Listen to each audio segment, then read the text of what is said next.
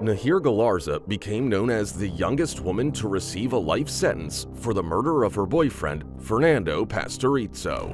This is the story of a bright and attractive young woman who shot her boyfriend at point blank range twice and watched him bleed to death right before her eyes. How could she have found herself in the role of merciless killer rather than the law graduate she was on track to become? The bloody trail of this 2017 crime blew apart Argentina and is still being hotly contested today. What could have driven her to shoot him once in the back and then once more while looking right into his eyes? How did love and hate become so entangled in her otherwise smart and promising mind? Well, we've got the full scoop, and the answers are coming right up. At just 19 years old, she committed this incredible and brutal crime, perhaps driven by the fear of him leaving her. This tragic story has resonated widely, inspiring the creation of several books, a mini-series, a movie, and even a rap song. But none of this changed the fact that Argentina's justice system hit her with a huge 35-year prison sentence for her crime. It has been six years since these events led to Nahir's historic sentencing. How did this bewildering and tragic scenario unfold? Let's take a step back and delve into the details of this case. And you better believe it shocked us just as much as it's gonna shock you right now. Prepare for a blood-soaked dive into the world of a teenage murderer and the incredible legal and media circus that erupted around her. This is the story of Nahir Galarza, Argentina's Lady Macbeth. The night of December 29, 2017.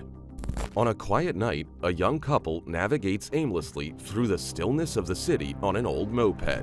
The ride seems aimless, or at least that's what one of them believes. The other is consumed with a dark plan silently brewing in her mind. The man steers while the woman holds him tightly in what will become the most fatal embrace of her life. In the early morning hours, under the intense heat of an Argentinian year's end, a faint river breeze struggles to offer relief. Their helmets cling to their heads. Moments before, they had been lost in each other's embrace, a familiar passion and conflict for Nahir Galarza and Fernando Pastorizzo. Young, attractive, and deeply entwined in a relationship marked by love, physical intimacy, disillusionment, and strife. Soon, they're moving on two wheels. He drives with a sense of contentment while she seems somewhat distant. On the surface, she's the picture of calm, but inside, her mind is a turbulent sea. The plan she has crafted in secrecy is nearing its climax, a scheme that's set to alter their lives irrevocably. After tonight, nothing will ever be the same. Upon her urging, he veers off, taking a detour down a dirt alley leading to her grandmother's house. He complies, unaware. The area, not a regular part of his routine, is still a familiar piece of Gualeguaychú's urban tapestry. Then, an abrupt, shocking noise breaks the calm, too harsh to be a festive firecracker. Suddenly, he feels a burning sensation. He looks into the eyes of his girlfriend, a partner in a challenging four-year relationship, and sees nothing but emptiness.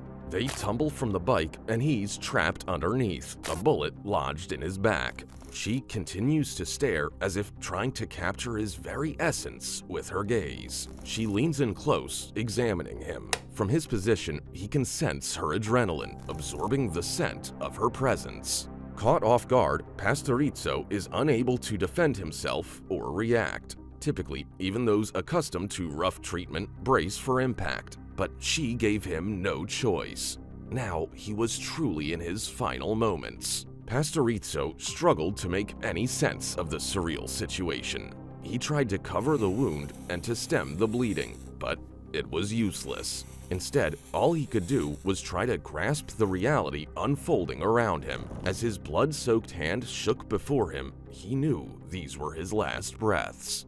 And there his killer stood, watching him. She was moving ever closer right until they were face to face. For her, failure was not an option. The plan had to be foolproof, with no room for hesitation or error. If he survived, the consequences would be dire. Not just with the law, but first and foremost with her father, a dominant police officer and the main male figure in her life. That's why she decided a single shot wouldn't suffice. She needed to ensure the end, and so she delivered the final blow. Having learned to handle weapons at 14, she calmly extended her arm and fired again, this time decisively. Fernando, her boyfriend, lay lifeless, his last thoughts unable to fathom why the woman he had just been intimate with had ruthlessly taken his life on that balmy December morning. The girl, meticulously precise in her planning, knelt beside the still warm body. She picked up one of the bullet casings, then froze at the sound of an approaching vehicle, followed by a sudden flash of light. It was an unexpected time and place for anyone to be going through that alley. Hoping it was just an animal or a trick of the light, she realized it was neither.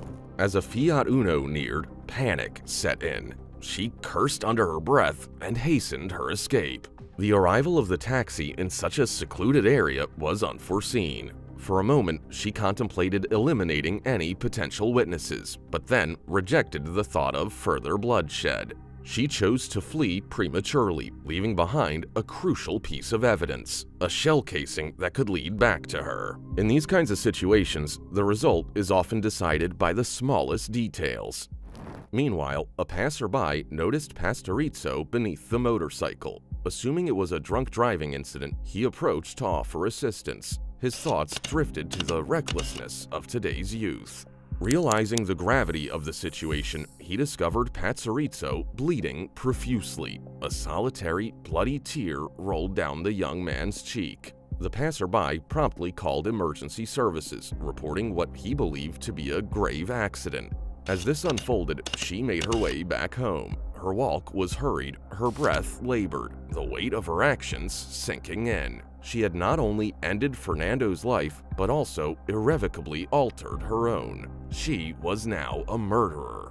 Arriving home to the familiar landscape of the Costanera and the river, she encountered a past flame, now with his new girlfriend. They exchanged glances, but pretended not to see each other. When people saw her walk in, they saw a calm smile on her face. She looked almost relieved, like the thing she had just done had taken a huge weight off her shoulders. But the horrible truth of what she did was sealed forever. She moves through the kitchen, returning the gun to its regular place atop the refrigerator. The pistol, kept there for quick access, is a precaution her police officer father insists on, fearing a personal attack. Yet no such threat ever materialized. What does happen while he sleeps is that his oldest daughter takes the gun for a far more sinister purpose to kill her boyfriend. In the aftermath, the young woman frantically scrubs her hands like Lady Macbeth, desperate to remove any traces of gunpowder. She has just committed a murder and, in a daze, retreats to her bedroom, collapsing onto her bed. It's a moment of tranquility following the chaos. Her mind races, relentlessly replaying the night's events. The sex, the motorcycle ride under the night sky, the sensation of the wind, the pull of the trigger, his struggling breaths, the, the blood, so much blood, and the unexpected witness driving by. A quick walk back, then the surreal return to normalcy. She sighs, feeling an odd thrill amidst the turmoil. She knows with a heavy certainty that nothing will ever be the same again. Not for her, not for anyone touched by this night's events. But there's one last piece to complete her plan an alibi. She turns to social media. On Instagram, she writes a blood tainted message of eternal love to Fernando. I love you forever, my angel. Surprisingly, sleep comes easy to her that night, a respite she finds increasingly elusive in the days that follow. In the immediate aftermath, she could find rest. In the nights after, sleep escapes her. She resorts to sleeping pills for even a moment's peace. When questioned about her restless nights, her struggle to find sleep, she responds with a vacant stare and emotionless eyes. Her haunting reply, Fernando's ghost appears in my dreams. The verdict. Nahir Galarza wasn't in the courtroom to hear her fate sealed. In the judicial chambers of Gualeguaychú, Entre Rios province, just north of Buenos Aires, the court delivered its decisive verdict. It refuted Galarza's claims that the killing was accidental, concluding that the shots fired at her partner were intentional. These were intentional and aimed shots, declared the court, convicting Galarza of murder. Because of its proximity to the border with Uruguay and its reputation for lively carnivals, this small city felt the full force of the crime. Accusing Pastorizzo of mistreatment and gender assault, Galarza testified during the trial. Ultimately, the court rejected the defense's motion to consider these allegations as a mitigating circumstance, since they could not locate any evidence to support them. Galarza later confessed that she had lied to 911 and told no one else about what had transpired since, in her words, being injured does not mean that you are going to die. At this point in the trial, everything changed. Pastorizzo succumbed to his wounds before he could reach the hospital, even though someone in the vicinity eventually contacted the authorities. It never even crossed my mind that he was going to die, Galarza stated during the trial. I found out when his mom called me. My heart stopped because she was calling me. That was when I found out what had happened. She asked me if I had been with him, and she told me that he had died. On the day of the murder, Galarza went to a police station confessing to the crime with her father's service weapon. However, her account changed by the time she stood trial. During the proceedings, she claimed Pastorizzo had hidden the gun underneath his clothes after taking it from her house. She alleged they both fell from the motorbike, triggering the gun's first discharge. She then asserted that she picked up the weapon and it fired again. The judges were unconvinced by her narrative. A ballistic expert's testimony was crucial as he ruled out the possibility of two accidental discharges. Security camera footage from the neighborhood also contradicted Galarza's story. The footage showed her walking home at a normal pace, not exhibiting the shock and confusion that she claimed to have experienced. Another critical piece of evidence was a photo Galarza posted on Instagram the morning after the incident, showing her and the victim, accompanied by the text, I'll love you forever, my angel. Nahir Galarza's story. In the world of crime, some cases resonate more deeply than others, often when the perpetrator draws more fascination than the victim. In Latin America, Ricardo Barreda, Carlos Robledo Puch, and Yiya Murano are notable examples. Nahir Galarza is another such case. The early hours of December 29, 2017 marked a defining moment in Gualeguaychú. Just two days shy of the year's end, the city was unaware of the impending crime that would grip its community and ultimately put Argentina's most notorious female murderer behind bars. The revelation that Fernando Pastorizzo was killed by his girlfriend, a young, blonde university student from a middle-class background and the daughter of a police officer, sent shockwaves through the media and public. Until then, the case was just another sad entry in the local police records. Nahir's image, with her long, straight blonde hair and seemingly angelic appearance, belied the emotional coldness she displayed upon confessing to the crime. Much focus was directed toward the case. It was front page news, featured prominent figures, and covered by special reporters all day, every day. The Pastorizzo case evolved into the Nahir case. Many took an interest in Nahir as a person, her convoluted life story, her interests, and everything in between. Everyone couldn't believe this seemingly ordinary girl could murder her partner in such a calculated fashion. The drama, action, and sexual intensity of her broadcast trial were mixed with real-life contradictions, lies, and deception, making it even more thrilling. The story turned into something like a best-selling novel that was passed off as news. A key point of contention was the claim of gender violence. The defense suggested that Nahir was a victim and Pastorizzo the aggressor. But how much of this was true and how much was legal strategy? If Nahir were male, would the debate over her deserving the harshest penalty under our penal code be as intense? The relationship was rife with toxicity, mutual aggression, accusations, and demands shrouded in secrets and mysteries. Their relationship was filled with toxic elements of possessiveness, anger, and cheating on each other. This negative cocktail turned their relationship into one of conflict, and it showed in their public digital lives. WhatsApp, Facebook, Instagram, and Twitter all showed conversations and arguments that illustrated their relationship problems. Should there be no charges or leniency in her sentencing, Nahir faces 35 years in prison, only regaining her freedom at age 55. And so, a question lingers, one that many ponder but few can stomach to answer. How can a good girl, potentially anyone's daughter or neighbor, be capable of such extreme actions? Consequences and context. Nahir Galarza holds the unfortunate distinction of being the youngest woman to receive a life sentence in Argentina at the time of sentencing. She was 19 years, 7 months, and 21 days old. However, she wasn't the youngest at the time of committing the crime that led to her sentence. In a similar case in 2016, also in Entre Rios, Paola Araceli Benitez was sentenced for murdering her mother when she was 18 in April 2015. By the time of her sentencing, Benitez was just slightly older than Galarza, being 19 years, 8 months, and 1 day old. A stack of photographs, phone conversation transcripts, and emails were among the documentary and testimonial evidence. These were some of the most important elements that supported Galarza's conviction. Expert evidence was also important in putting an end to the idea that the gunshots were an accident.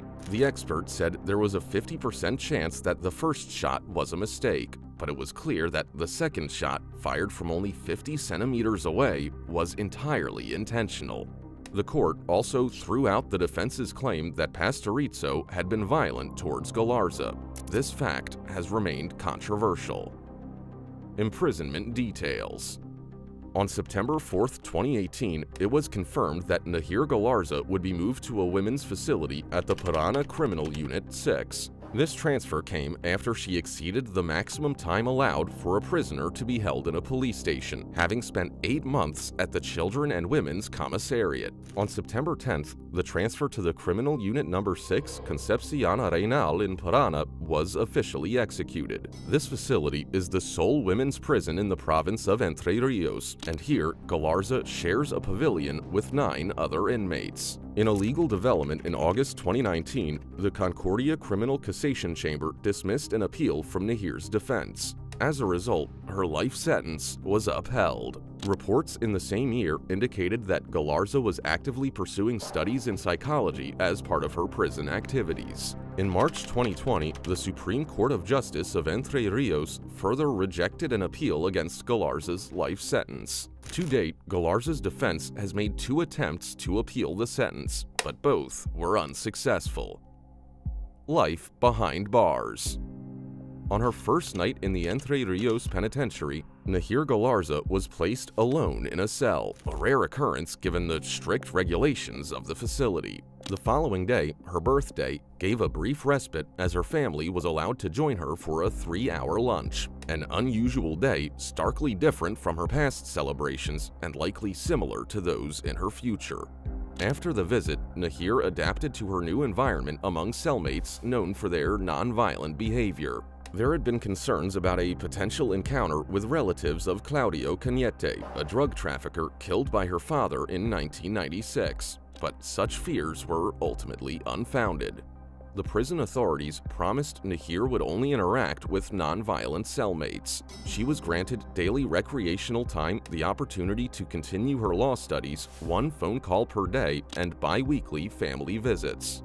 On September 15th, less than a week into her sentence, she used her phone call to give an interview to the website Ahora, her first since incarceration. She spoke with journalist Elias Moreira, who facilitated the interview through former official Bordera and sought to clarify what she termed misunderstandings.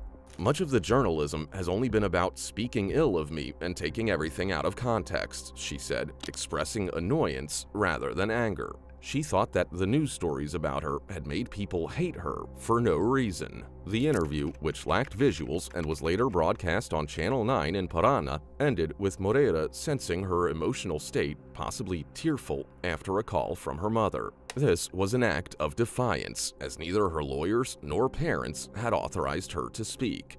In the penitentiary, Nahir found a semblance of dialogue, something she had missed at the minor and women's police station. Her initial challenge was to change the first impressions of her fellow inmates. Do you think I'm crazy? They say I was painted as a crazy person. She felt vindicated when their response was, nah, you aren't as crazy as they said. Her transfer was noteworthy, occurring at 4 in the morning in contrast to the usual practice of daylight transfers. The journey from Gualeguaychú to the Penal Unit 6 of Parana, covering 287 kilometers, was a road her family would frequently travel, starting with her 20th birthday celebration, which was granted as a special visit.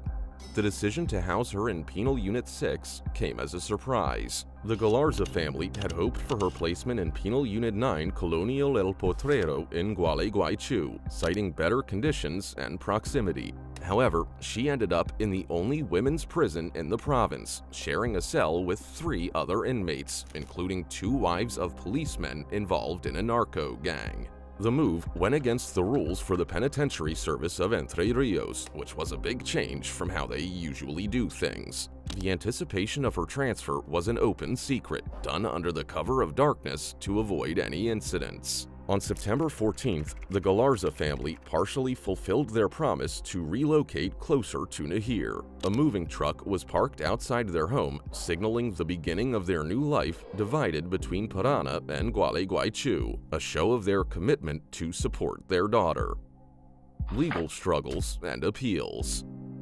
In January 2022, Nahir Galarza, under new legal representation and with her mother Yanina Crow's support, filed a complaint against her father Marcelo Galarza, which was eventually dismissed. Despite this, a restraining order now prevents Marcelo Galarza from approaching his ex-wife Crow and the prison where his daughter is held. The National Court remains the defense's final hope to overturn the life sentence.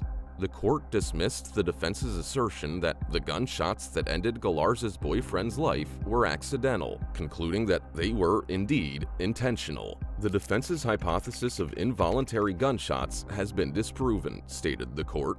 The decision, made by judges Mauricio Durruti, Arturo Dumont, and Alicia Vivian, was reached swiftly. Galarza's legal team has confirmed their intention to appeal the decision. The verdict really caused a major divide in Argentina. This has been particularly apparent on social media. Online, a lot of Argentinians and South Americans questioned the judiciary's speedy handling of the case. They compared it to other cases involving violence against women, where often it has been claimed the woman's claims have not been fully investigated. The same Gualeguaychú court that tried Galarza also presided over the Susana Villarruel murder case. Villarruel was killed by her former partner, Ramon de la Cruz Ortiz, who was found guilty and sentenced to life imprisonment just three months after the incident. Court procedure details. Three main points were argued about in court by the defense and prosecution. They can be summarized like this. 1. Nahir Galarza meticulously planned the murder, characterized as a psychopathic killer who understands her actions but feels no guilt. On December 29, 2017, in Gualeguaychú, she killed her boyfriend, Fernando Pastorizzo, allegedly because he intended to leave her. 2. Nahir shot Fernando twice because she was being abused physically and mentally. The defense aimed to show that she was a victim of gender-based discrimination and violence. 3. Nahir is psychotic, seeing things that aren't there, described as mentally unstable. Claims of childhood sexual abuse by her uncle, abuse by her mother, and speculation that her father, policeman Marcelo Galarza, was the actual murderer. Fernando Pastorizzo.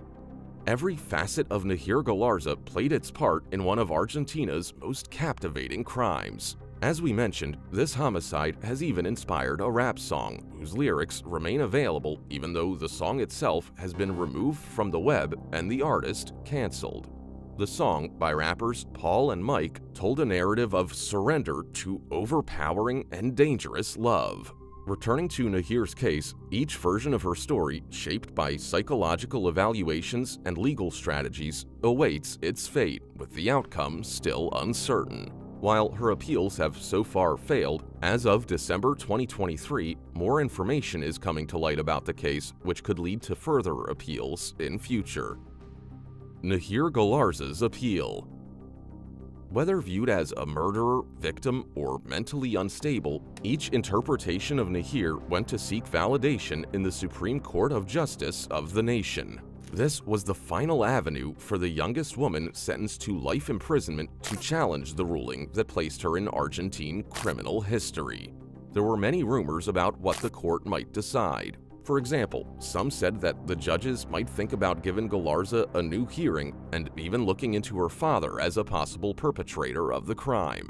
However, the reality was different. Nahir's defense appeal was with the criminal opinions area of the Attorney General of the nation for almost two years, and the decision was not favorable for Nahir. The appeal, received by the court on October 29, 2020 and transferred to the Attorney General's office in November 2022, was handled by Jose Ostolaza and also bears the signature of Raquel Hermida Leyenda. Leyenda, who joined as co-counsel in July 2020 and was dismissed in November 2022, advocated a high-impact hypothesis. Her involvement, however, did not alter the decision by the court. But nevertheless, it was Leyenda who opened up a new front in the courtroom battle, Nahir's psychological state at the time of the murder. Schizophrenia and psychological state.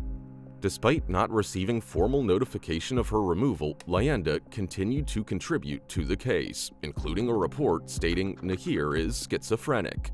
The defense claimed that the court's assessment of evidence was arbitrary and that international gender violence covenants weren't considered. The appeal was taken to the Supreme Court in complaint because the Supreme Court of Justice of Entre Rios deemed the original appeal irrelevant. Within the 38 pages of the defense's arguments, numerous points are raised, nine specifically addressing acts of gender violence. However, getting the prosecutor or the court members to align with the defense's perspective is another matter. A key point the latest psychiatric evaluations of Nahir conducted post-trial suggested schizophrenia under the theory that her father was the actual murderer. However, these evaluations hold relatively little value, contrasting with official ones and submitted after the complaint was filed, which might lead to them being overlooked. If the court decides to review the complaint, it will likely focus on the arguments presented in the 38 pages submitted by the defense in October 2020, after the Chamber of Cassation of Concordia and the Supreme Court of Entre Rios upheld her life sentence for aggravated homicide by connection. The defense doesn't argue for an insane Nahir or an abusive father in their complaint. Instead, they focus on alleged gender violence, claiming arbitrariness in evidence admission and evaluation and violation of international treaties on gender violence, thus asserting the federal nature of their appeal. This is the angle Nahir's defense has been using in court, closely monitored by plaintiff lawyers Ruben Maria Virue and Juan Carlos Peregallo. While other theories could be considered, they appear more as legal fireworks than substantial arguments. The dismissed lawyer's support of the sexual abuse and murderous father theory does little to bolster the case for an unimputable insane Nahir. The accusation, verbatim from the sentence that led to Nahir's life imprisonment on July 24, 2018, for qualified homicide for being of a person with whom she maintained or has maintained a relationship, details the events of December 29, 2017. This sentence says that Nahir, who was riding a moped with Fernando Pastorizzo, shot him twice, once from behind and again while he was lying on the ground. It was clear that Nahir wanted to kill him. Text messages with Fernando, witness statements, ballistic experts' opinions, and surveillance video were all important in securing her conviction. The relationship dynamics. Initially, Nahir Galarza tried to distance herself from the murder by claiming she wasn't even with Fernando Pastorizzo, then confessed and even at one point suggested he had killed himself. During the trial, she claimed it was an accident, However, the judges didn't buy her story, largely due to a psychiatric evaluation provided by Dr. Simon Giglioni on February 27, 2018, and later confirmed in court. Nahir was capable of distinguishing right from wrong, legal from illegal. According to the psychiatric evaluation conducted on February 6th, 7th, and 9th, 2018, and an analysis of legally relevant medical data, there was no indication of mental incapacity or disorders that could have impacted her ability to understand her actions or influence her decision-making at the time of the incident. Interviews with Nahir Galarza in prison revealed no signs of post-traumatic stress. The expert's report stated there was no evidence of symptoms compatible with post-traumatic stress. The presence of symptoms of re-experiencing the trauma was not observed. There were no symptoms of trauma avoidance, no symptoms of automatic hyperactivation. The referred symptomology, anguish, does not cause clinically significant discomfort or social deterioration at work or other vital areas of the subject of CARS, effectively dismissing the defense's claim of gender violence. Giglioni admitted that the evaluation was very basic, but it painted a clear picture of Nahir's mental state at the time of the event, which contradicted the defense's claim that she was a victim of gender violence. Nahir's defense, as presented to the Supreme Court, maintains that she was a victim of physical and psychological violence from Pastorizzo and acted within that context. This claim, which contradicts Nahir's own account during the trial of the incident being an accident, hinges on nine key points outlined in their brief. 1. The oral court in Entre Rios confirmed injuries on Nahir's body through forensic reports. 2. Despite this, these injuries were not attributed to Fernando Pastorizzo. 3. One doctor noted long-standing injuries on Nahir's arms, which she claimed not to remember the cause of. 4. Medical records from the Puigari Sanatorium indicate pre-existing injuries. 5. Nahir recounted an incident where Pastorizzo dragged her by the hair. 6. Whenever Nahir blocked him, Pastorizzo would call her incessantly. 7. Aggressive, degrading, controlling, and violent WhatsApp audio messages from Pastorizzo were presented at the trial. 8. A letter from September 2016 where Pastorizzo allegedly apologizes for his violence and asks for forgiveness.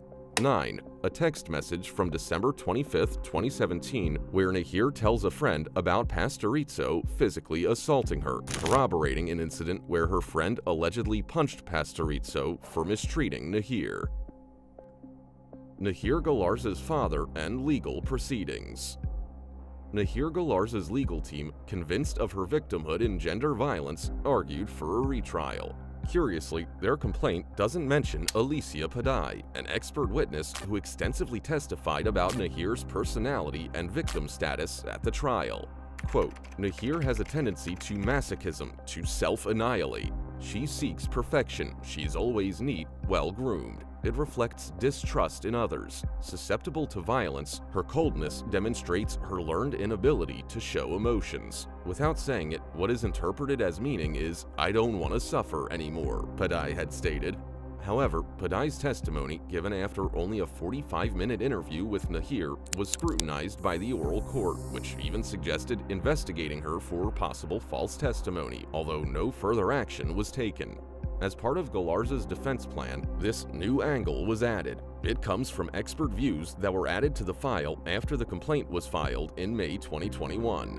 Quote, from our observations, we conclude that from the age of 15-16, a psychic deterioration would be expressed that affected their quality of life, their social relationships, their adequate connection with reality, and their vitality, and we give a presumptive diagnosis. It meets the diagnostic criteria of schizophrenia. Diagnosis associated in Axis 1 for sexual abuse and forced abortion, post-traumatic stress should be ruled out comorbidity with autism spectrum disorder, reported psychologist Alicia Castro and psychiatrist Enrique Stola. However, this new explosive report, alongside the archived complaint alleging that Nahir's father was the actual killer, is not included in the main complaint. On April 13th, Nahir's former lawyer, Raquel Hermida Leyenda, filed a brief as amicus curiae, claiming Nahir is not in a position to decide because she is threatened by her mother and father in addition to suffering from a psychotic illness. A sensational claim, but seemingly more targeted toward media attention than legal efficacy. While the court awaits the ruling of Attorney General Eduardo Casal, Nahir remains a high-profile inmate at the Women's Penal Unit No. 6 of Parana. if the court does not rule in her favor, she would only be eligible for parole at age 54, which has thrown up some questions about the length of time for the nation's highest court to decide on her case. Media coverage and public reaction. The murder of Pastorizzo garnered extensive national and international media coverage. In the days following the incident, the Galarza family hired a public relations officer releasing photographs of Nahir as a baby and child to the media. Nahir's personal social media accounts received both support and backlash. Her Instagram was initially closed after her arrest, but reactivated 12 days later, quickly gaining over 30,000 followers before being taken down again. On January 2, 2018, a march in Gualeguaychú saw hundreds demanding justice for Pastorizzo. The following day, on Pastorizzo's posthumous 21st birthday, friends and families shared messages and photographs on social media, calling for justice and expressing condemnation against Galarza. On July 10, 2018, the group Every Prisoner is Political staged a protest in Buenos Aires, demanding Galarza's immediate release and challenging the heteropatriarchy and hegemonic feminism, labeling the media, judiciary, and public opinion as part of a witch hunt against Galarza. In January 2022, it was announced that a series titled Nahir, The Unknown Story, based on the book New, The Unknown Story by Mauro Szeta and Mauro Fulco, would be produced for HBO Max. Recent developments and allegations of misconduct. On December 4, 2023, shortly after her sixth Christmas in prison and as the Supreme Court of Justice of the nation deliberates on her life imprisonment sentence, the Entre Rios justice system acknowledged that food specialist Gabriela Laino was coerced into performing tasks beyond her expertise. Laino claimed that following Galarza's conviction, she suffered psychological disorders, prompting her to file a lawsuit against the Entre Rios state and the provincial police. In court, Laino stated that prosecutors compelled her to examine the cell phones of Galarza and the late Pastorizzo in her morgue, falsely presenting her as a computer expert despite her actual qualification in rheumatology and a lack of relevant training. Also, Laino said that her bosses threatened to fire her if she didn't go ahead with their fake expertise. The labor court system recently ruled in favor of Laino and told the defendants they needed to pay her 14 million pesos. The court's decision made it clear that Laino was given tasks that were well outside of her professional area. These included things like computer forensics and forensic photography. She's a graduate in forensic anthropology and works for the Gualeguaychú Departmental Police's Criminalistics Unit, but there's been no proof that she has learned these specific skills or knowledge. Following the verdict, Jorge Zanzini, author of a book about Galarza, commented on the situation. The prosecutor Rondini Cafa, coordinator Lisandro Beherán, Commissioner General of the Gualeguaychú Department Fabian Perez, and bail judge Mario Figueroa, also a former police officer, formed a perverse association to protect Nahir's father, also a police officer, Marcelo Galarza, to expedite the life imprisonment sentence. The Supreme Court of the nation, having reviewed the entire case file, is expected to soon decide whether to overturn or uphold the life sentence. Galarza's defense team, led by doctors Jose Ostolaza and Pablo Sotelo, is hopeful that the court will recognize the alleged discrimination and arbitrariness in the Entre Rios justice system as outlined in their federal appeal. Conclusion in both Argentina and Uruguay, there's been a lot of discussion about the murder that Nahir Galarza committed. She was a girl from a small town, and it shocked everyone to see a beautiful young woman with a promising education become a murderer. People became fascinated by the case due to the nature of the crime and the fact that the woman was so young. Then, after the trial, the fact that this was her first offense and yet she was hit with such a tough sentence caused more controversy. The life sentence she received generated intense debate across various media platforms, with some voices strongly opposing such a severe sentence for a young individual with no previous criminal record. Lastly, it reopened a long-standing conversation about the poor record Argentina has when it comes to dealing with violence against women, and whether there are factors in this case that could have been looked at more deeply, such as whether Galarza was a victim of abuse. Despite this, the sector opposing her sentence was relatively small and has become less vocal over time, fading into the background of public discourse. concerns have been raised about what reducing her punishment could mean. This was, after all, a sentence given out by a judge for a planned armed murder. Many have asked what it could mean for society as a whole if a lighter sentence had been applied. What kind of precedent would it set in legal jurisprudence? It's important to remember that this terrible event had a clear victim, and it was not Nahir Galarza. This just goes to show how terrible these kinds of crimes are and how important it is to hold everyone accountable to their crimes, no matter their age or upbringing. But it also goes to show that the justice system in Argentina still has many failings and that the calls for reform and accountability should not go unheard.